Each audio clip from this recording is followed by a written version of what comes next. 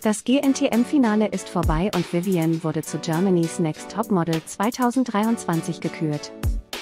Den Zuschauern war am Donnerstagabend einiges geboten, von Challenges bis zu Stargästen sollte es nicht langweilig werden.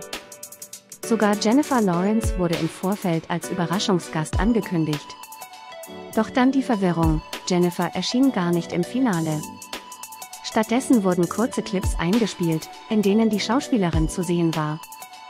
Darin stellte sie den FinalistInnen eine Challenge, in der sie ihr Schauspieltalent unter Beweis stellen sollten. Dabei sollten sie eine Szene aus Jennifers neuestem Film No Hard Feelings nachstellen. Ihr Szenenpartner dafür war Markus Schenkenberg. Beeindruckt waren die Zuschauer von der Challenge und J. Laws Auftritt nicht. Crazy wie Heidi Jennifer Lawrence als Gast angepriesen hat, aber die Frau ist nicht mal im Finale da, heißt es auf Twitter mit Jennifer Lawrence als Gast werben, was sich dann als vorproduzierter Einspieler entpuppt. Genau mein Humor, lautet ein weiterer Tweet.